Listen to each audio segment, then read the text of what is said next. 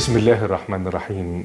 ربنا أتمم لنا نورنا واغفر لنا إنك على كل شيء قدير. صدق الله العظيم. أعزائي المشاهدين أهلا بكم معنا في حلقة جديدة من برنامج حوار المفتي مع صاحب الفضيلة الدكتور شوقي علام مفتي الديار المصرية. أهلا بفضيلتكم. أهلا وسهلا. فضيلة المفتي ساعات قليلة ويغادرنا شهر فضيل هو شهر رمضان المبارك شهر النفحات والخيرات. دائما السلف الصالح كانوا يحزنون عند مغادرة هذا الشهر لما له من آثار وعبادة وصدقات وغيره. فكيف كان هؤلاء يعني نريد أن نبحر معهم في حبهم لشهر رمضان المبارك؟ بسم الله الرحمن الرحيم. الحمد لله والصلاة والسلام على سيدنا ومولانا رسول الله وعلى آله وصحبه ومن والاه. آه، في هذه الأوقات آه، في الحقيقة مفارقة الحبيب والضيف الكريم آه، المحبب إلى النفس وإلى القلب تكون شديدة الوقع على الإنسان. ولذلك آه، الصالحون والأولياء والمتقون ومن آه، في قرب من الله سبحانه وتعالى يحزنون حزنا شديدا نعم. على مفارقة هذه الطاعة وانتهاء وقتها. ووجدنا ذلك في نماذج عديدة من آه، الصالحين حتى إننا أدركناهم أيضا. وأنا أدركت من كان يبكي ورأيت هذا البكاء ورأيت هذه الدموع. حتى في العصر الحديث. في في أن أدركتها بنفسي. نعم. آه، أن آه، البعض من الطيبين من أهل آه، القرية آه، وهذا أكيد موجود في كل قرية من القرى وهم ناس بسطاء. آه، ومع ذلك ولم يتعلموا ولم يقرأوا ولم يكتبوا. ومع ذلك من حبهم لشهر آه، رمضان وحبهم لهذه الطاعة وحبهم للتقرب إليه سبحانه وتعالى بالطاعات الكثيرة وبهذه الروح السارية في كل أجزاء الوقت. آه، في الحقيقة يحزنون حزنا شديدا ويبكون على أن هذا الشهر آه، يمضي وينتهي آه، هكذا. ونحن قد لا نصل إليهم في الحقيقة في هذه الرتبة. لكن ندعو الله سبحانه وتعالى بأن يتجاوز عنا فيما مضى. وأن آه، يعني آه، ينتهي هذا الشهر الفضيل ونحن قد غفر لنا ما قصرنا فيه وغفر لنا الذنب آه، كله وأن يكون رمضان بمثابة السبب الذي من أجله كنا بفضله سبحانه وتعالى وبمنه وبإحسانه أن نكون من عتقائه من النار ومن المقبولين وأن يحبب إلينا المساكين وأن يحبب إلينا الفقراء وأن يحبب إلينا ذوي الحاجات لأن في الحقيقة آه، هذه المواطن هي التي ترقق القلوب. نعم. فحبهم إنما هو ترقيق للقلب آه، وجزء من القرب إلى الله سبحانه وتعالى. هنا يعني فضيلتكم في هذا الشهر تجد أيضا المسلم يتجه إلى المساجد آه، دور العبادة في رمضان بالذات. يعني ويخلص في الصلاة. ولكن بعد أن يخرج شهر رمضان أو يغادرنا شهر رمضان يعني لا يذهب للمساجد يعود مرة أخرى إلى ما كان عليه. يعني هل هذا انفصام في شخصية ال- الشخص ولا ماذا نسميه؟ من آه، يعني يقبل على شهر رمضان إقبالا صحيحا ويستثمر وقته في رمضان ويخلص في هذه العبادة؟ فإنه آه، يأخذ تدريبا وتمرينا ودرسا مهما في هذا الشهر يستعين بهذا الدرس وبهذا التدريب والتمرين على ما بعده من شهور. فمن أخلص إخلاصا حقيقيا في شهر رمضان فإنه يعان بعد هذا الشهر على أن تستمر هذه المسيرة من الطاعة وهذه المسيرة من العبادة تستمر إلى ما بعد رمضان في شوال وفي ذي القعدة وفي ذي الحجة وغير ذلك من الشهور حتى يقبل رمضان القادم. فتظل هذه الحلقة مستمرة. آه، ولذلك نحن نتعجب في الحقيقة وربما أن هذا راجع لأن الناس شغوفين آه، بشهر رمضان آه، عندهم حب شديد له. آه، فنرى المساجد في أول رمضان مكتظة في الحقيقة وهذا شيء يفرح ويدل على أننا عدنا إلى هذه الحظيرة الإيمانية جميعا. آه، وينبغي أن تستمر هذه الحظيرة الإيمانية. صحيح قد لا نستطيع الصلاة في المساجد لكن على الأقل أن نكون محافظين على الصلوات في أوقاتها وأن نكون مستشعرين هذه الروح الطيبة التي عشناها في رمضان أن تكون سارية إلى ما بعد رمضان.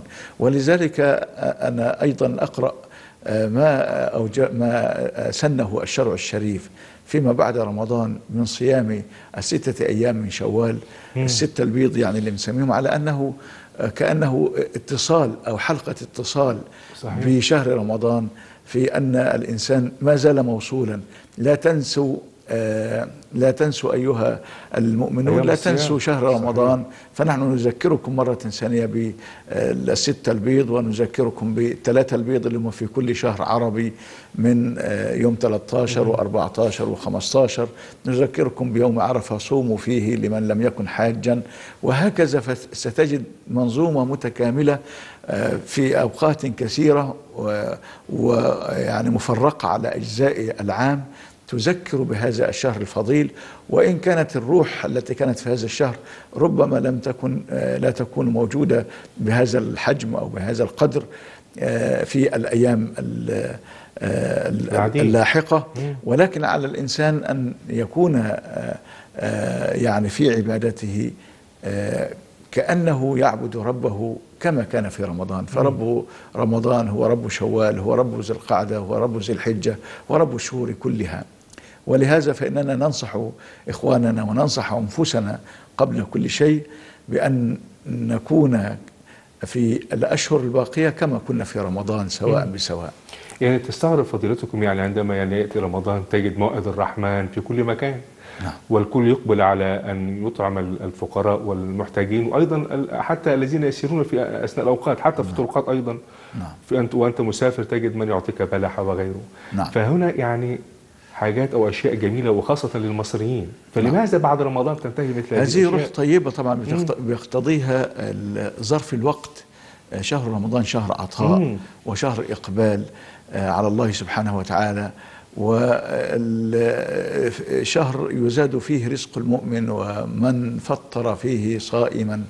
ولو على شربة ماء كان له مثل أجره من غير أن ينقص من صحيح. أجر الصائم شيء. فأنت إذا في حالة من العطاء تريد في الحقيقة أن تسبق إلى الثواب ولذلك هذه المظاهر التي أنت تقول عنها وهي مظاهر مصرية أصيلة آه، لاحظناها آه، في مصر في كل بقاع مصر. كلما تذهب إلى أي مكان تجد السلوك واحد صحيح. وتجد نماذج متكررة. في أن البعض آه، بالفعل على الطرقات قبل الصوم.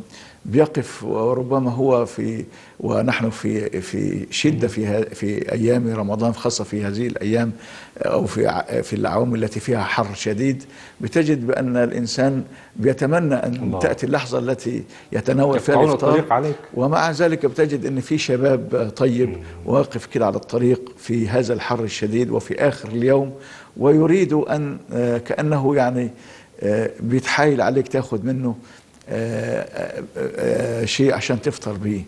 هذه روح لا نجدها في الحقيقة آه، عند. الكثير من من الأماكن أو من المواطن وإنما هي ثقافة مصرية نابعة من حب آه، آه، الشديد في شهر رمضان للناس مع بعضهم البعض الآخر. يعني نتمنى أن تستمر يعني يعني فضيلتك يعني ونحن نشاهد يعني في المساجد مثلا تزاحم شديد. ويأخذ الرجل زوجته وأطفاله. ولكن بعد ال يعني ينتهي رمضان المشكلة أو الغريب هنا يعني هل هذا سلوك ولا؟ بطبيعة الحال هو الإنسان في شهر رمضان نظرا لظرف رمضان فهناك إقبال شديد إقبال على الطعام وإقبال على الصدقات بل أنا أعل- أعلم ببعض الناس يعني آه، بيأخروا آه، أو بيجعلوا يعني آه، وقت زكاة المال مش زكاة الفطر. لكن وقت زكاة المال يكون في رمضان يعني يجعل؟ يوم واحد رمضان هو اليوم الذي يوزع زكاة المال فيه على الفقراء وعلى المساكين وعلى مصارف الزكاة المعهودة فكأن هناك شعور عام عندنا بأن شهر رمضان نظرا لأنه تضاعف فيه الأجور من صل- من أدى فيه فريضة كان كمن أدى سبعين فريضة فيما سواه. الله. فإذا كان هذا هذه المضاعفة للفرائض فهي للسنن أيضا ولكل الأعمال. فالثواب آه، في هذا الشهر الفضيل هو ثواب مضاعف كما أن الثواب في آه، على الصلوات في المفروضات والنوافل في البيت الحرام هي مضاعفة آه، فلذلك تجد حرص شديد من الإنسان عندما يذهب إلى بيت الله الحرام أن يغتنم الفرصة في أن يضاعف آه، الصلوات في هذا البيت ال- الكريم كذلك في هذا الشهر الفضيل. لكن نقول بأنه ينبغي علينا ونحن قد صمنا وأطعنا ربنا لمدة هذا الشهر الكريم ينبغي علينا في. الحقيقة أن نستمر على هذا الأداء وعلى هذه الطاعة ولا نقطع الصلوات بعد ذلك ولا نقطع هذه العبادات حتى وإن كنا لا نصلي في آه، المسجد ونصلي في بيتنا آه، مثلا جماعة أو في شغلنا أو في عملنا أو في المساجد يعني ينبغي أن تستمر المسيرة في الحقيقة في بعد رمضان. وفضيلتك يعني ماذا تشعر عندما ينتهي شهر رمضان؟ أنكم يعني يعني يعني يعني مسؤولون يعني عن نتمنى أن نتمنى أن يوفقنا الله سبحانه وتعالى أن يكون أن تكون مشاعرنا آه، في آه، يعني أننا نتمنى أن يطول رمضان. ونتمنى أن تكون السنة كلها رمضان. آه، ولا نتمنى أن ينتهي هذا الشهر لأن بعض الناس آه، وندعو الله أن يتجاوز عنا وعنهم جميعا بي يعني بينتظر انتهاء الشهر بفارغ الصبر كأنه يؤدي آه، مه- مهمة مهمة ثقيلة. معينة. أنا ولا أريد أن أعبر بعقوبة يعني صحيح. لكننا لكننا في طاعة وفي عبادة لله عز وجل آه، ولذلك من يستشعر قيمة هذا الشهر يشعر في داخله أنه حزين لانتهاء هذا الشهر ولمضي أيامه هكذا سريعا. ونحن كلنا نشعر في الحقيقة في شهر رمضان بأن الأيام سريعة في هذا الشهر حتى وإن كانت طويلة. لكنه سرعان ما يكون اليوم تلو اليوم. وستجد في النهاية أننا وصلنا إلى يوم 27 ويوم 28 وأصبحنا أمام رؤية والشهر انتهى. آه، فعلا. ف يعني هنيئا لمن وفقه الله سبحانه وتعالى في هذا الشهر الفضيل. وما زال الوقت باقيا. ولمن قصر ما زال ال- هذه الأيام الباقية ما زالت فرصة أمامنا حتى نعيد ونرجع إلى ربنا عز وجل. آه، آه، نعيد آه، مواقفنا. نعم. ونراجع هذه المواقف مرة تلو الأخرى حتى نعود إلى جادة الصواب. وندعو الله أن يجعل أيام مباركة على فضيلتكم آمين وكل وعلى كل المسلمين. وعلى المسلمين جميعا. نشكر فضيلة الدكتور شوقي علام مفتي الديار المصرية. نشكر فضيلتكم. شكرا أهلا وسهلا. نشكركم والتقي معكم بإذن الله تعالى في حلقة قادمة من برنامج حوار المفتي.